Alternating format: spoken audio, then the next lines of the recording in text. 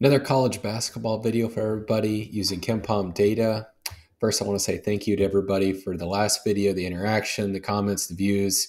Definitely one of my better performing videos and really appreciated the feedback and the excitement around college basketball and specifically the model I built using the KenPom data. I'll have a link in the description if you still want to pick that up.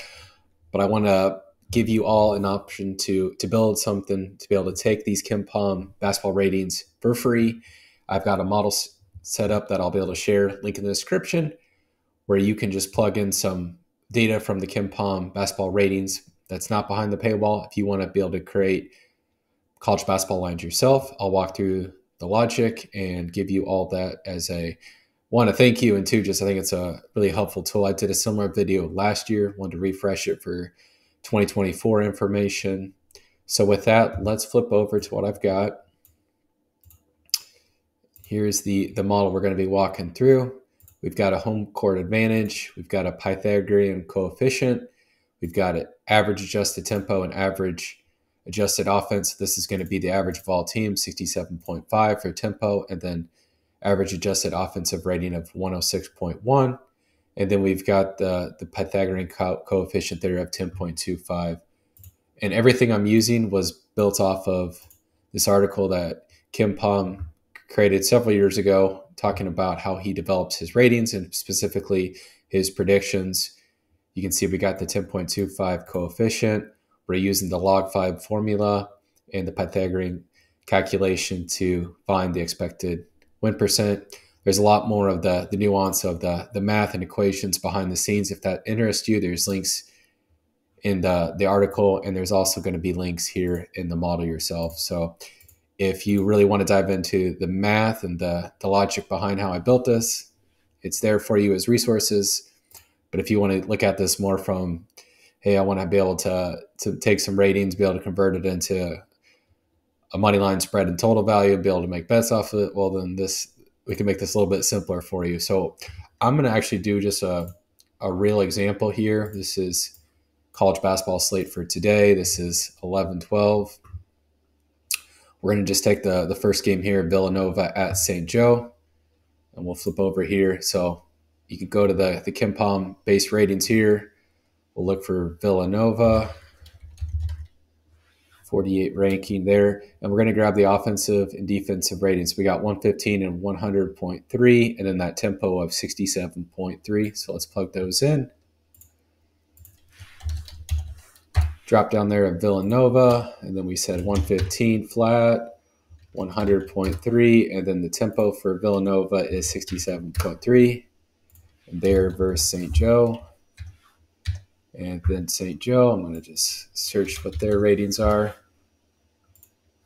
107.2. We got 102 even, and then their tempo is 72. Okay. And then up here, I've got the home court advantage. So this is on St. Joe's home court. So I just put in three as kind of the average home court advantage. You can adjust this. So if it's a neutral site, obviously you don't want to make that zero. And if you want to put a little bit more weight into a home court advantage or not, I've got you some drop downs there to play around with that. But that's that's all we have to do for inputs. We've got the offensive rating, the defensive rating for both teams. We're going to take a, a home court advantage adjustment to those ratings to get to some new values that are weighted based on the home court advantage.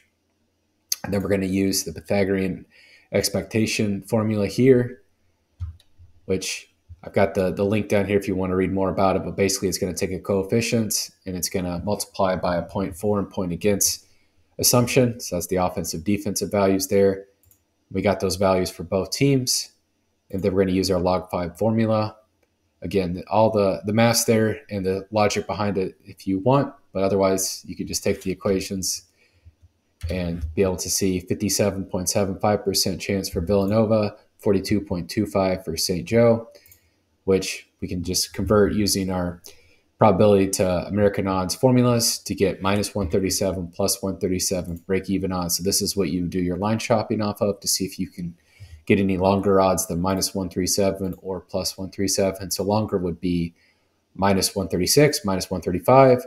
And then longer on the, the St. Joe as the underdog would be plus 138, plus 140, plus 145, etc. So there's our their money line section here, and this is a nice summary table I've created. And then we're going to look at converting the the data and using a tempo to get an expected point output table. So 67.3, so just slightly below the average tempo for Villanova. St. Joe's quite a bit above that average. So we can see that we've got 99.7 or 106.67. That's just a percent of the average tempo. And then we're going to say that, that we'll take each one of those teams and then multiply together times the average to get an expected tempo, 71.79. And then we're going to take that, we're going to take our offense divided by average offense and then do the reverse offense divided by the defense to get an expected output. Multiply that all together there. And then we're going to take that divided by the tempo to get our points. So 77 points for Villanova, St. Joe at 74.82, which equals 2.32 and plus 2.32 is your spread. I went ahead and did some rounding there to make sure those are in half point increments. So minus 2.5 spread for Villanova, plus 2.5 for St. Joe, and then our over under at 152 even. So that is everything you need to do. You can see that's not too not too labor intensive, but obviously there is some manual processes to get that. But again, that's a 100% free resource for you. It really is just a big thank you for everybody for commenting and liking. I just ask that if you do download, please consider liking and subscribing. And let's go see if we've got any bets to place using that data. So Villanova, St. Joe, we got minus 134 and plus 122 as our longest odds. Go back here, we can see that that minus 134 would be a positive EV bet on FanDuel for Villanova. And then let's look at the, the point spread. And this is just a good validation too. If you're way off on your projections, then you there's most likely a, a, hole in the logic, but you can see that minus 2.5 spread is really consistent with what we're seeing for Villanova St. Joe. And so you could look at and say, we think St. Joe's only a 2.5 point underdog. We're getting plus three and then plus 3.5. So there's a, a chance those could be EV bets. Again, you'd want to apply some point spread logic to that. Flip over to the total values here. You can see we're getting 142.5 or 143.5 as the, the total lines. Go back to the model. You can see 152 is what we actually think the expected point total output is going to be. And we can look at our, our KenPom FanMatch data as well, just to see if that seems reasonable. 76 plus 72. If we do the math on that, 148, so a little bit less than our 152. But all that is telling us that an over bet right now makes a lot of sense for this Villanova St. Joe's game. So there's, I would say, definitely two EV bets you could place. You could get the the money line on Villanova that we saw earlier. Eh, look at that! It's actually moved since I flipped to that screen. So that's a you got to be quick on these EV bets they they move. So you know that's closing line value right there. If we would have if we would have got it locked in earlier, now it's moved, and then we go back over here. So the one forty three point five, I would say you got one forty two on Bet River. So these are all great over bets to place on that game. Back over here at the model. Now, I do realize that some of that line shopping can take some time. And if you really want to make this as efficient as possible, I'm going to pull over what KenPom's got as a FanMatch. This is only $30 a year. And you can see he's got every game ranked by the thrill score. There's that 76 versus 72 for Villanova. So that's really consistent with what we showed. We showed 77 over 74 and a half. So that makes, you know, doing a bottoms up approach or just taking what KenPom has, you can see that the, the values are pretty consistent 62% for Villanova. we are coming up with 57 0.75. So um, a little bit of deviation there, but you know, in the ballpark. And I think that's, I think what he has here is got going to have some more specific home court advantage adjustments with each team. There's um, some luck factors, and obviously he's got a more refined model. But if you just want to do a really quick math, you, you can do that with what I just shared. And then here's the, the model that I've created um, where it's just a copy paste of the, the FanMatch data.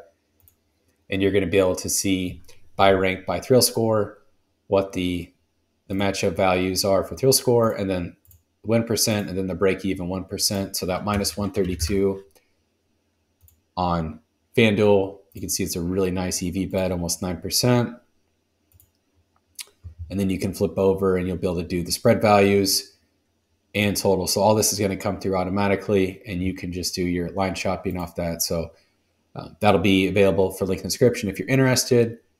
And uh, one other thing I'll say is I've, based on the the downloads of the Excel versus Google Sheets version of the KenPom model, definitely loud and clear.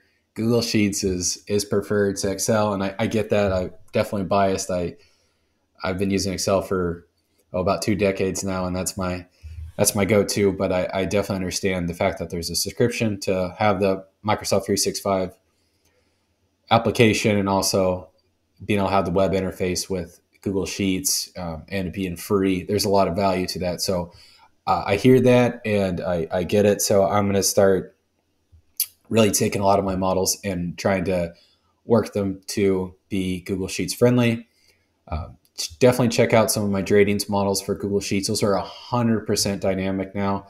There is no copy paste needed that they're going to automatically update each day with the latest ratings prediction scores, and it's going to bring in um, relevant line odds so you can really narrow your focus on your, your line shopping. So I, I definitely check those out. I'll do some videos of just walking how how simple and easy those are.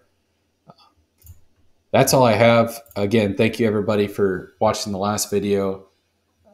I think er, you know college basketball. I've said it is there's a ton of games there's a lot of opportunity, but there's also a lot of risk with college basketball just because there's so much variance in the matchup. So um, I think you need to have a, a, systematic way of evaluating each game, be able to apply you know, some logic, make sure that you feel comfortable with what you're betting. I would definitely, if you're using a Kelly criterion application, I definitely wouldn't use a half Kelly. I would use more of a quarter Kelly just to haircut your your risk on uh, college basketball, just because there's so much variability in the matchups, but there's a ton of games, a lot of opportunity.